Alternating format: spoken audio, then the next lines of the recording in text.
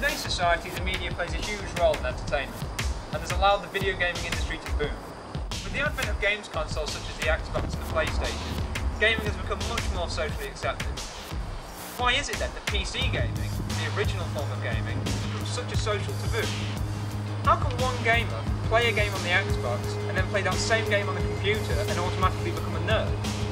Today we're going to investigate. We're going to delve deeper into an industry that the ordinary public has forgotten and look at what makes PC gamers PC gamers.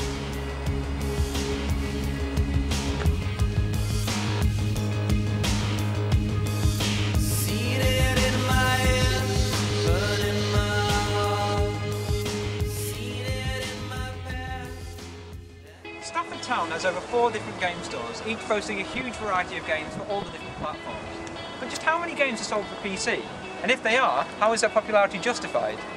Especially considering nowadays PC gaming is considered somewhat of a social taboo. I'm going to investigate. I asked an owner of one of Stafford's leading video game stores just how well PC games were selling, and whether he thought any decline was due to technical problems faced by the users or the stereotypically nerdy image associated with them by other members of society. We're selling more, but I think it's only because of the fact that a lot of places are stopping selling them. You don't, but PC games don't get brought off the internet because they can't send them back and that sort of thing. Whereas we do allow them to exchange them if they don't work on their system. But it is seen as a bit of like a taboo. If you, especially World of Warcraft, seems to have done it than anything else. Um, that people are on their games all the time. So. So what about those very people? The people regarded as nerds and outcasts, the ones who play computer games all the time? Is it wrong that their hobby should be classified as taboo, as if they're doing something wrong? I'm going to find out, and where's the best place to start?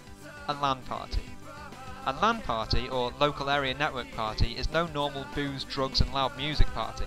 This is a social gathering of computer enthusiasts who all get together, hook their computers up on a network and play games all night, fueling themselves on caffeine alone. We caught up with Kieran Recoil Davis attending one of said parties, with many other fellow PC gamers to try and ask him just why he does it and what makes PC gaming so different to console gaming. It's the atmosphere of being with everyone who enjoys the same kind of games that I do. I mean, like if, if we were console gamers, like Xbox or PS3, we just have to take a controller around.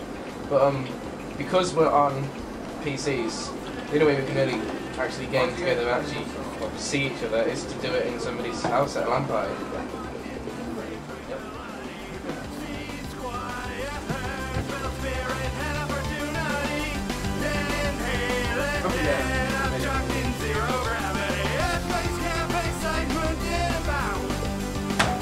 Sake!